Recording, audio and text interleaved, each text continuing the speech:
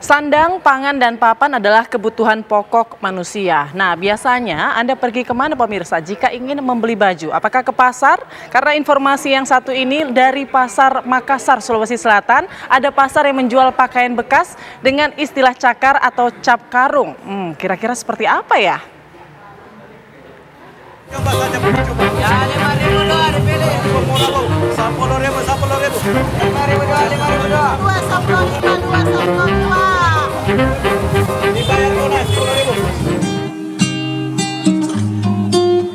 Pasar Cidu dulu hanya kecil saja.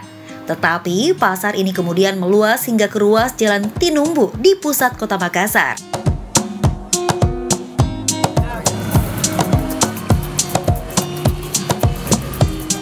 Jam 6 sore, para pedagang pakaian bekas di Pasar Cidu mulai membereskan dagangannya. Baju-baju dimasukkan ke karung, lapak-lapak kayu dan terpal plastik dilipat. Di hari Minggu, mereka harus bersiap lagi jam 7 pagi. Tak boleh terlambat. Hari Minggu adalah puncak ramainya pembeli. Ramai pembeli adalah rezeki.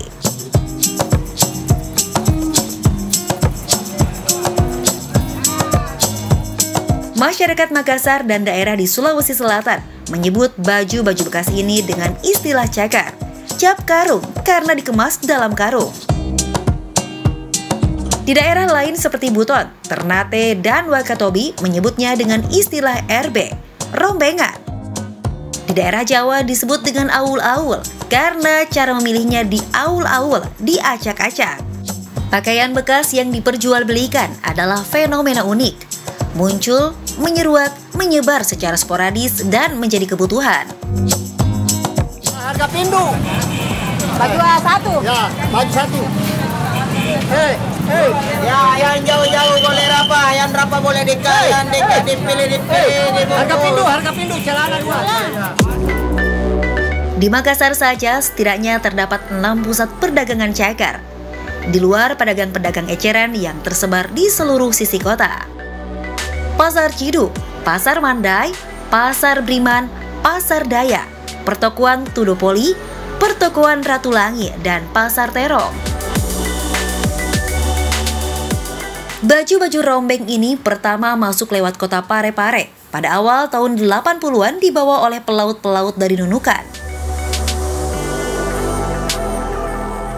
Pada waktu itu, baju yang masuk ke Parepare masih dalam skala kecil.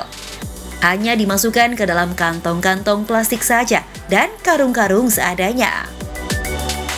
Setelah tahun 2000, baju-baju bekas ini mulai dikemas secara profesional dalam bentuk bal yang dibungkus dengan karung plastik.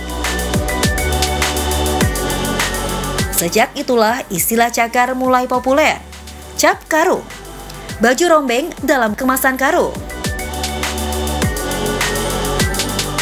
Pare-Pare masa kerajaan Goa disebut dengan Bajikini Pare atau kawasan pelabuhan karena kota ini memang terletak di tepi pantai. awalnya di Pare-Pare penarik beca. Saya mulai kerja cakar itu kenal cakar mulai tahun 85 ya.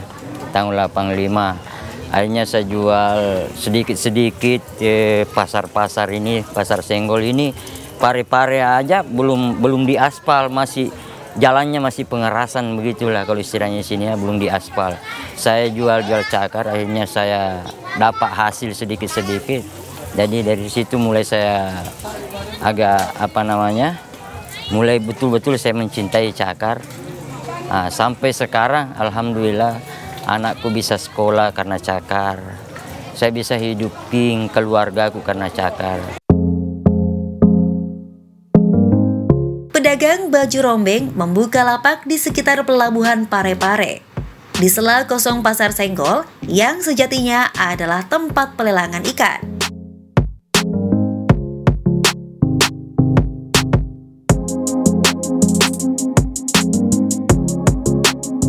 Kawasan Pasar Senggol sebenarnya adalah jalan umum. Buka mulai jam 5 sore hingga jam 10 malam.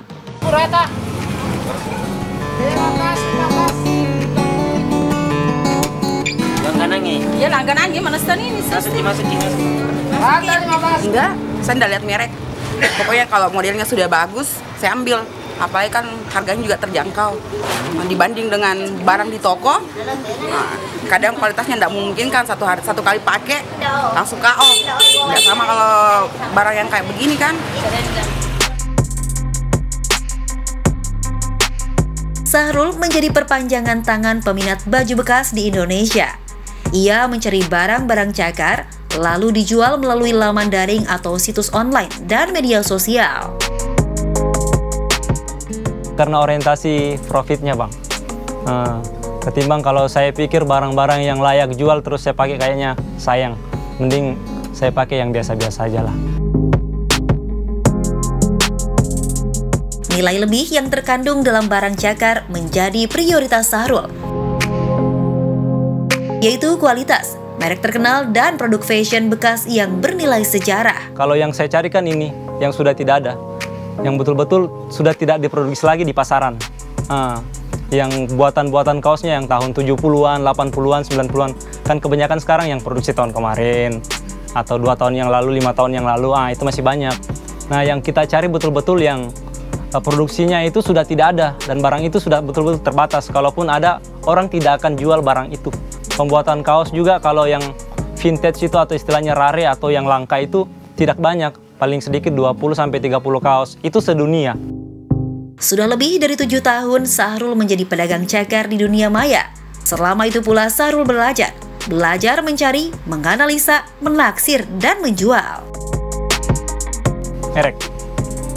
Karena eh, merek yang nentuin harga, bukan kualitas. Kalau mereknya bagus, walaupun kualitasnya gak begitu bagus, masih bisa ngejual ketimbang barang yang kualitasnya bagus terus mereknya nggak ada nggak bisa dijual. Nih.